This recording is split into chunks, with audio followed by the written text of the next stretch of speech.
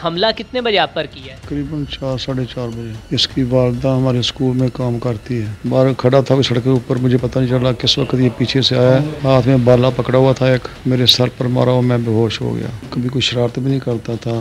बड़े अच्छे तरीके से पढ़ता लायक भी था। कि पता नहीं अब क्या हो गया उसको समझ नहीं आई कोई। नहीं अस्सलाम नाजरीन मैं हूँ आपका मेज़बान मियाँ असलान और आप देख रहे हैं एन पी जी मीडिया।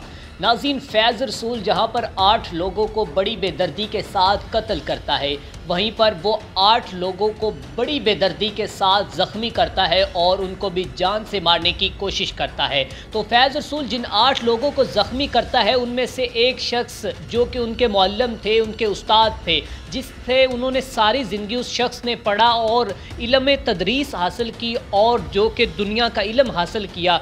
आइए इस सर से बात करते हैं, पूछते हैं कि उसने अपने ही उस्ताद के ऊपर हमला क्यों किया और जब हमला किया तो इनसे क्या बात की, क्या कंडीशन थी ये इन्हीं से पूछते हैं। अस्सलाम वालेकुम। वालेकुम सलाम। सर जी क्या नाम है आपका? जुबैर अहमद अच्छा सर ये फैज़ रसूल कब से आपके पास पढ़ रहा था? ये पहले पहली जमात से लेकर आठ चौदह पढ़े हमारे पास। अच्छा ये आपको अच्छी तरह जानता था? बिल्कुल जानता था। अच्छा सर इसने हमला कितने बजे आप पर किया है?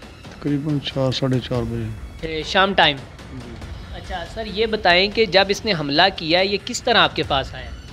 मैं इनके घर गया था वैसे। अच्छा सर इसकी वालदा हमारे स्कूल में काम करती है।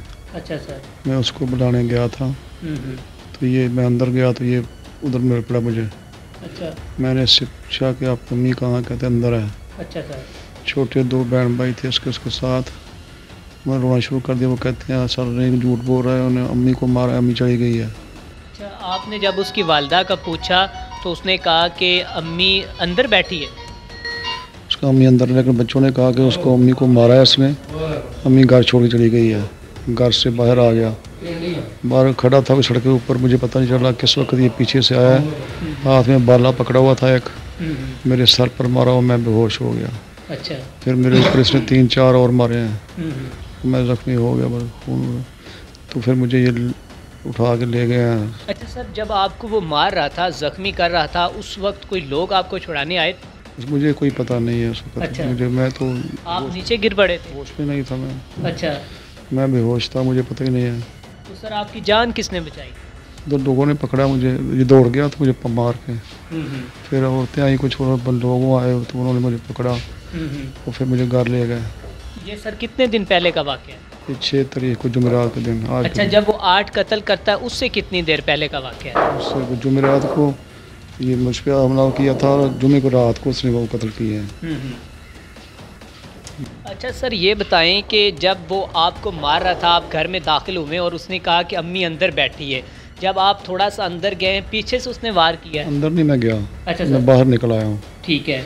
बाहर निकला हूँ तो बाहर मैं खड़ा हूँ वही आग मोटरसाइकिल के पास पीछे से उसने मुझे मेरे पर वार किया मुझे मारा उसने। अच्छा पहले सर पे मारा है। हम्म, हम्म। मैं गिर गया हूँ बेहोश हो गया हूँ फिर उसने मेरे कंधों पे मारा है उसने पीछे कंड पे। अच्छा सर ये बताइएगा कि ये जब पहले आपके पास पढ़ता था आखिर एक अगर वालदेन के बाद दूसरा वालिद होता है ना तो वो एक उस्ताद होता है और उस्ताद बच्चे की नेचर को उसकी हैबिट्स को बहुत अच्छी तरीके से जानता है। जब आपके पास पढ़ता था इसकी हैबिट्स कैसी थी और कैसा इंसान था ये? बहुत अच्छा था ओबीडियंट था बड़ा। कभी कोई शरारत भी नहीं करता था बड़े अच्छे तरीके से पढ़ता लायक भी था ओबीडियंट भी था।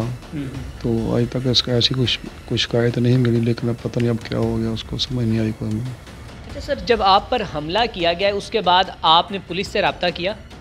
मुझे ले गए थाने ले गए वहाँ पे पर्चा कराया हमने। पुलिस को बताया कि उधर ही उसको पकड़ो।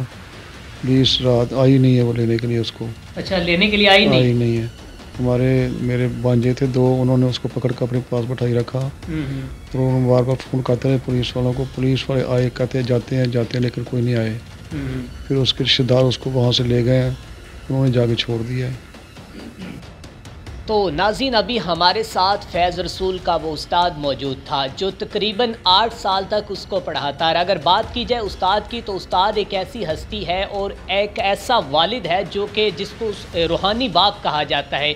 उस इंसान ने अपने रूहानी बाप के ऊपर ही हमला किया और कहा जा रहा है, इनकी तरफ़ से बताया जा रहा है कि वो एक ऐसा इंसान था कि जब भी उसकी, स्कूल की अगर बात की जाए या उसके कंपटीशन की तो वो हमेशा हर कंपटीशन में फ़र्स्ट आता था और बहुत लायक इंसान था और ना ही उसके कोई ऐसे दोस्त थे।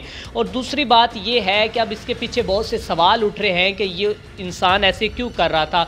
वो इतना खूनी क्यों हो चुका था कि लोगों की जान लेना उसका जो कि अवालीन तरजीह थी?